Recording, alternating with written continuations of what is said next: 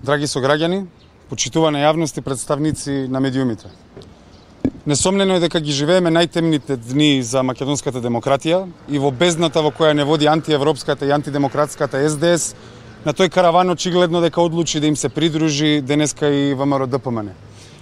На сите ни е јасно дека за оваа влада постои само легалистичка рамка, таа нема легитимитет одамна, и повеќекратно е делегитимирана. Прва таква инстанца вредно е да се напомене дека е во 2021 година на локалните избори во на кои опозицијскиот бран а ВМРО ДПМН одлучи да го преточи во една кохабитација со СДС која трае година дена и која кулминира сега со ова тука. После тие избори се случи да добиеме неизбран премиер со кој кој со својата нелегитимна влада беше целосно нетранспарентен во изготвување на францускиот предлог со Софија во посредништво нели на Париз.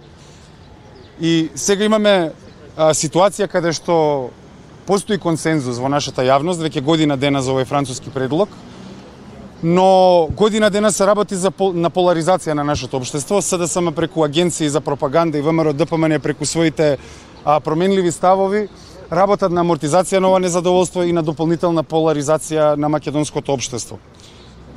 А, ова укажува дека се движиме кон криза на демократијата, дефинитивно, како надоврзување на ова ќе ја спомнам и иницијативата за референдум која спикерот Джафери веќе ја држи подолго време во својата фиока.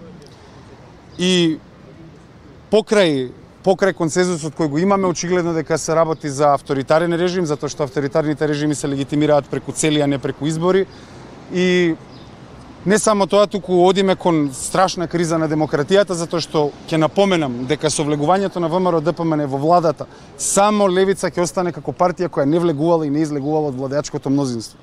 Тоа е еден силен, силен аларм за нашата демократија, за подкопувањето на демократскиот локус околу што треба да гравитираат сите нели обштествени процеси и за ова за ова авторитарност која овозможува сега еве веќе и ВМРО ДПМН. Лидерот на ВМРО ДПМН имаше многу променливи изјави во последната година. Имаше моменти кога неговите пратеници подпишуваа изјави на нотар. Имаше моменти каде што нудеше решение да се излезе на предвремени избори и да се стават уставните измени во самите предизборни програми. И крајно неговиот извршен комитет Сабајли излезе со изјава дека не ги прифаќаат уставните измени под бугарски диктат. Но што е тоа? Тоа е всушност една изјава за членството на ВМРО ДПМН. Тоа е изјава која ќе се врти и ќе циркулира низ медиумите на ВМРО ДПМН. Но членството ја следи оваа ситуација и свесно е за одлуките кои раководството ги презема. Но јасно е дека ВМРО ДПМН има своја улога во исполнувањето на Софиската платформа, на подкупувањето на на принципите на македонската државност и ова е само еден или, или крајна инстанца за, за, за ова недемократско делување на нашите партии. За крај уште ќе подсетам дека иако на ВМРО ДПМН сега му представува проблем да биде во ДУИ со влада, а, со ДУИ во влада, а, тие совршено функционираат како партнери во Советот на Велес. Значи не ги гледаме, не ги гледаме овде причините за ова за овој политички циркус.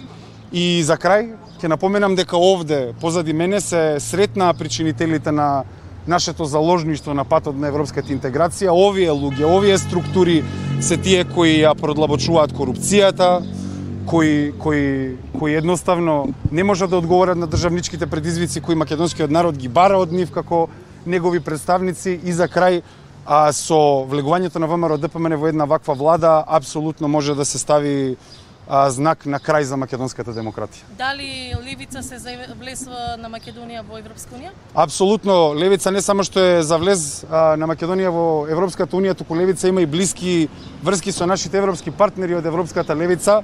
Тоа слабо се слабо се нели артикулира низ македонските медиуми, но ние имаме соработка со парламентарната група на Европската левица, со политичката партија на Европската левица и интересно е што нашите партнери се загрижани за начинот на кој што едноставно едноставно Бугарија се понаша како колонијална сила кон Македонија, но очигледно дека нашата неспособна дипломатија не може да одговори на овие предизвици.